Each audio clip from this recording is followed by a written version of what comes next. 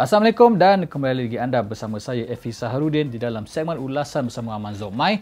Dan hari ini kita ulasan untuk peranti Samsung Galaxy A5 versi tahun 2017. Jadi dengan A5 2017 dan juga A7 2017 yang hadir di pasaran tempatan pada awal bulan Januari ini, mereka membawakan beberapa perubahan di mana untuk kali pertamanya sebuah fungsi kalis air yang selama ini dilihat hanya pada peranti-peranti utama dibawakan kepada sebuah peranti kelas pertengahan. Pada waktu yang sama, ia juga menyokong sistem pembayaran Samsung Pay dan juga ciri binaan yang saya rasakan lebih kelihatan seperti sebuah Samsung Galaxy S7 biasa dan sekilas pandang ia memang kelihatan seperti sebuah peranti kelas utama.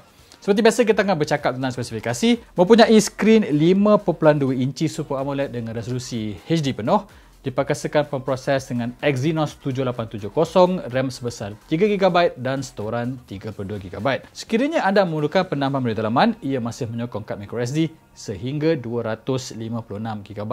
Menarik sekali, peranti ini menyokong dual SIM dan juga kad microSD secara serentak iaitu ianya bukan talam SIM yang hybrid. Boleh tunjukkan kepada anda, maafkan saya. Bahagian atas terdapat talam, bahagian sisi pun terdapat slot untuk talam. Jadi bahagian slot di bahagian bawah ini mempunyai slot tambahan untuk kad microSD.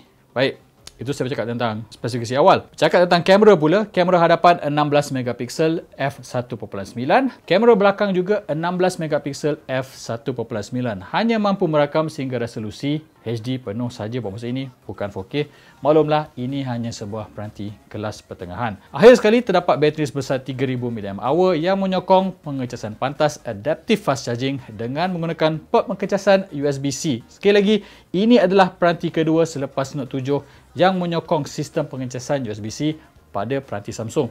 Dan tidak perlu risau, walaupun ada USB-C, masih lagi menyertakan bicu audio 3.5mm pada bahagian bawah dan pembesar suara sedikit unik ianya kelihatan pada bahagian sisi jika saya lihat sekarang ianya terletak pada bahagian sisi dan ini menurut Samsung apabila anda memegang seperti ini dan anda mahu mendengar perbualan tangan anda akan melekup bahagian pembesar suara dan akan kedengaran lebih jelas berbanding pada bahagian bawah anda harus memegang seperti ini. Apa yang saya sukakan tentang Samsung Galaxy A5 2017 Pertama sekali ialah antarmuka. Walaupun masih lagi menggunakan Android Marshmallow, tetapi telah menggunakan Grace UX yang akan diterima pada Samsung Galaxy S7 di mana ianya menggunakan semula antarmuka yang pertama kali dilihat pada Note 7 iaitu antarmuka yang minimalis dan anda boleh lihat adalah amat kemas. Berbeza dengan rekat antarmuka Samsung selama ini yang boleh katakan agak bercelaru. Sekali lagi, walaupun ianya sebuah peranti kelas pertengahan, jika saya boleh tunjuk, ia masih lagi membawakan fungsi-fungsi yang dilihat pada peranti utama di mana jika saya melakukan tekan dua kali, ia akan melancarkan kamera dengan pantas.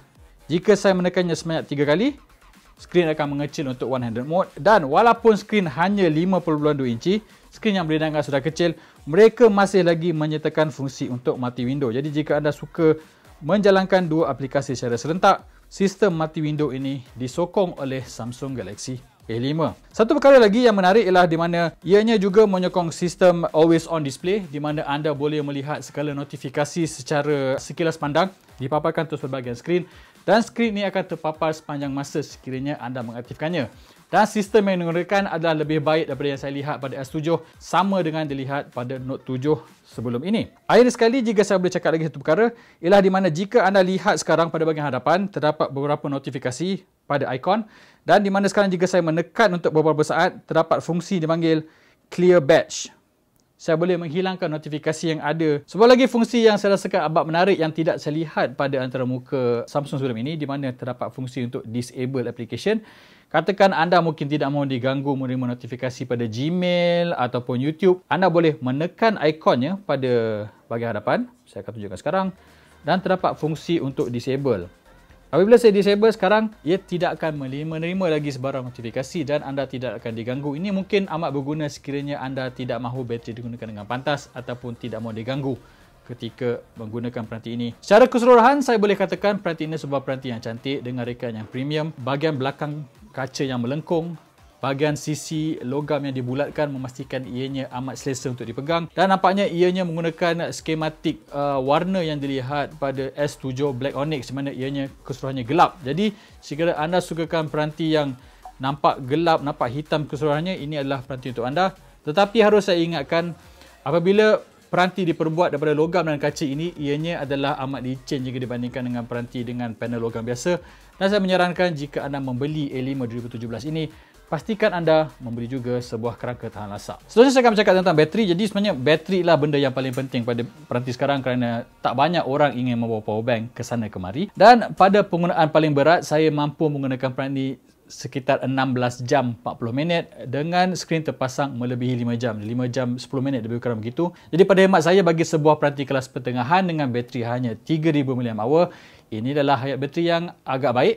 Dan jangan risau kerana seperti saya katakan pada awal ulasan ini Samsung Galaxy A5 ini menyokong sistem pengecasan pantas yang mampu mengecas peranti ini dalam lebih kurang 80 minit. Jadi bukanlah masa yang lama dan itu adalah sebuah sistem pengecasan yang agak pantas dengan harga jualan RM1,699 peranti Samsung Galaxy A5 ini bersaing secara terus dengan Oppo R9s dan juga dengan Vivo V5. Ketiga peranti adalah peranti yang mensasarkan mereka yang gemar mengambil gambar selfie dengan sensor hadapan yang besar. Perbezaan antara ketiga peranti ini dibandingkan dengan A5 ialah di mana ianya mempunyai binaan yang lebih premium dan juga ketahanan air IP68. Dan setahu saya tidak ada peranti kelas perketahanan lain yang mempunyai ketahanan IP68 ini setakat ini.